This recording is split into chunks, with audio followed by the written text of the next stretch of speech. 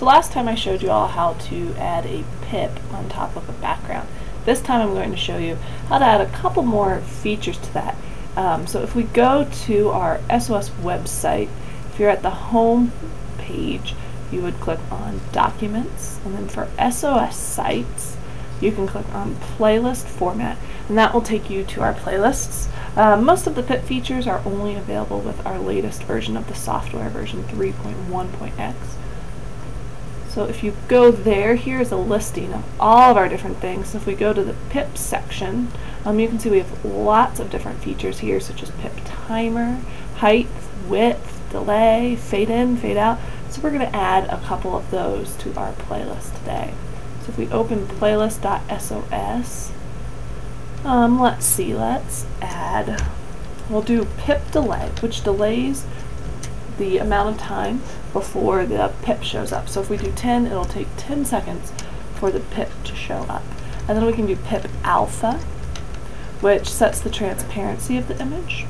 And let's set that at 0.5. It varies from 0 to 1.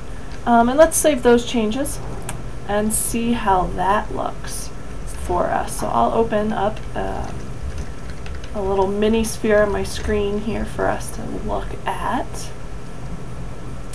And if I open that same playlist, so file open playlist, and we go to slash shared slash SOS slash media um, slash extras, and we were doing it under Beth logo.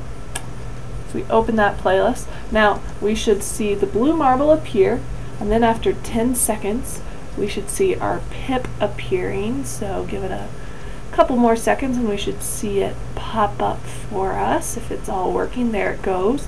Um, and you can see the transparency is very low. If we go back to our playlist and change that alpha transparency to say 1, and we'll change our pip delay to just 5 so we don't have to wait as long. We'll save that.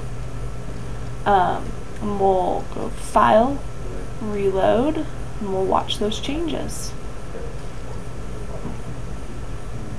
After 5 seconds, and there we are.